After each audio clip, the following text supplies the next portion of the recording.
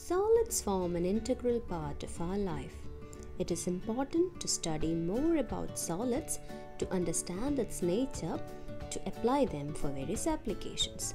Solid State, Unit 1, Part 1, Plus 2 Chemistry, NCERT syllabus. Characteristics of solids. The first characteristic property is that solids have fixed mass, shape, and volume. We don't need any further explanation regarding fixed mass, shape, and volume. The second characteristic property is that solids have highest intermolecular forces. Look at the figure. You can see the particles in the case of gas, the particles in the case of liquids, and the particles in the case of solid. The interaction between the solid particles is the highest and the least in the case of gases.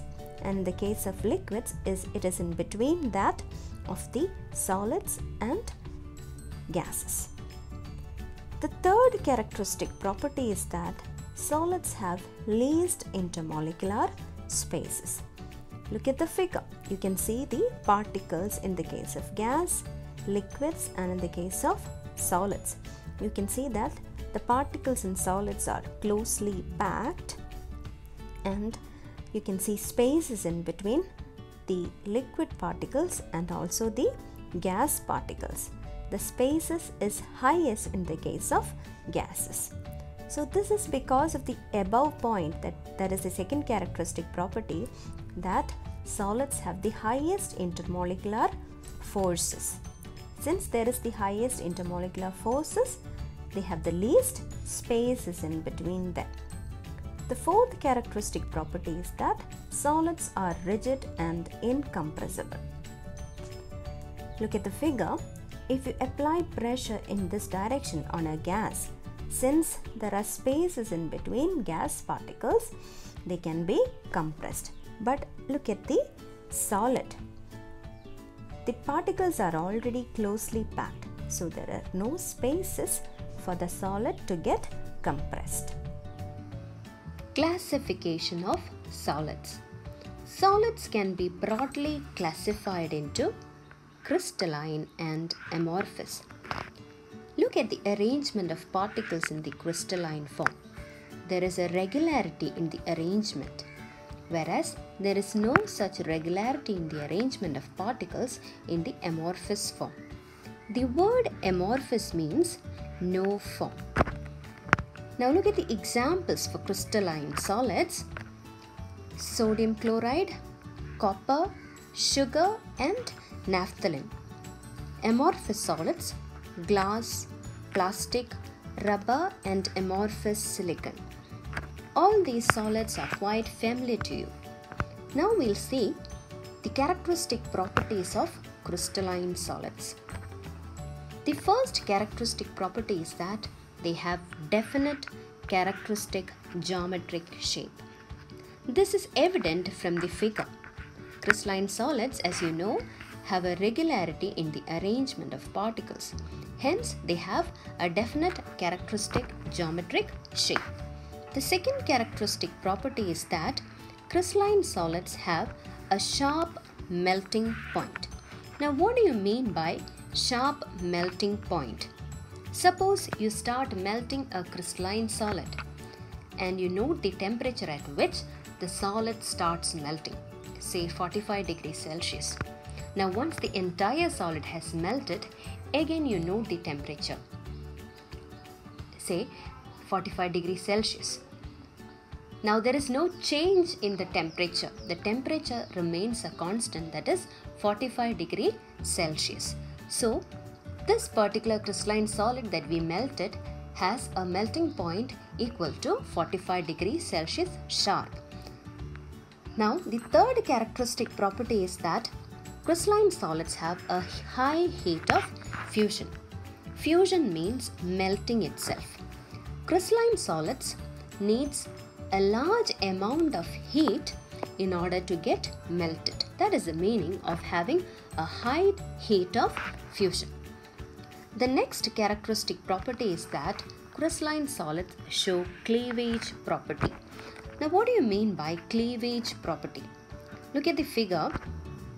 You can see a crystalline solid and it is being cut by a sharp object.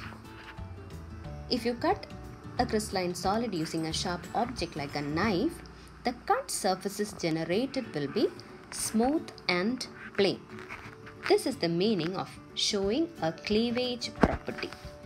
The fifth characteristic property is that crystalline solids are anisotropic.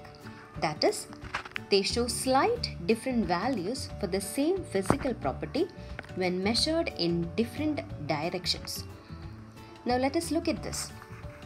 You see, I have marked larger green ones and smaller red balls.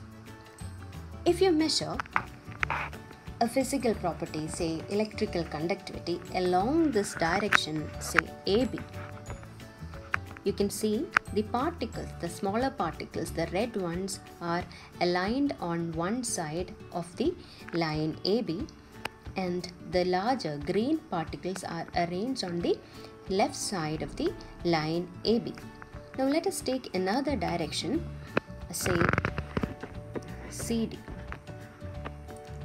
If you measure the electrical conductivity along the direction CD, you can see both the larger ones and the smaller ones are present on either side of the line CD. So there is slight difference in the arrangement of particles. So this is why there will be a slight difference in the value for the same physical property when measured along different directions. So this is the meaning of anisotropy. This is peculiar for crystalline solids. Now the sixth characteristic property is that crystalline solids are true solids. I'll be explaining more about this when we come to the characteristic properties of amorphous solids. The seventh characteristic property is that crystalline solids show long range order. Now, what do you mean by long range order? Look at the figure. You can see quartz in the crystalline form as well as in the amorphous form. You can see the repeating units of the crystalline structure and it is extended over long distances. Now you can also see units repeated but they are not similar and they are not extended over long distances in the case of amorphous structure. So this is the meaning of having a long range order in the case of crystalline solids. That is, the repeating units are repeated for long distances in the case of crystalline form. Characteristics of amorphous solids. The first characteristic property is that amorphous solids have irregular shape and you know the reason of this irregular shape.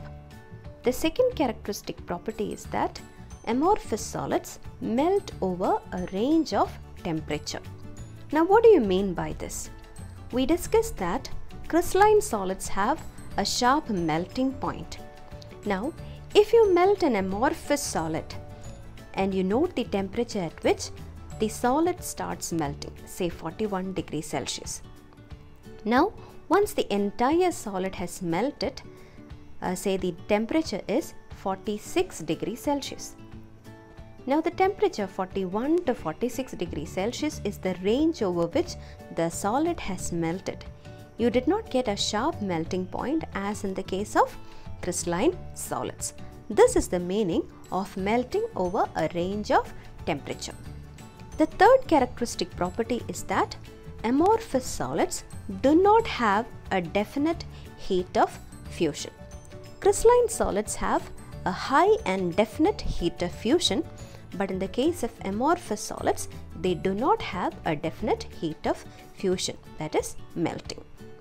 The fourth characteristic property is that amorphous solids do not show cleavage property. That is, the cut surfaces generated will be rough. It will not be smooth as in the case of crystalline solids. The fifth characteristic property is that amorphous solids are isotropic. Iso means same. That is, they show the same value for the same physical property when measured along different directions. Whereas crystalline solids was anisotropic. The sixth property is that amorphous solids are pseudo solids or supercooled liquids. What is the meaning? Pseudo means false. Why they are false solids? They are false solids because they have the property of flow. Generally fluids flow. But here amorphous solids has the property of flow. They can flow at a very low rate. If you happen to observe ancient glass windows, ancient glass windows, you may observe that the bottom of these glass windows will be thicker than at the top. The seventh characteristic property is that amorphous solids show short range order. We have already discussed this when we discussed the long range order in the case of crystalline solids. Now we can look at the summary of the characteristic properties of crystalline solids and amorphous solids. Regarding the shape, crystalline solids have a characteristic geometric shape, amorphous solids irregular shape, melting point, crystalline solids have sharp melting point, amorphous solids soften over a range of temperature, crystalline solids have cleavage property but amorphous solids do not show cleavage property. Crystalline solids have definite and characteristic heat of fusion. Amorphous solids do not have definite heat of fusion. Crystalline solids are anisotropic in nature. Amorphous solids are isotropic in nature. Crystalline solids are true solids whereas amorphous solids are pseudo solids or supercooled liquids. Crystalline solids show long range order whereas amorphous solids show short range order.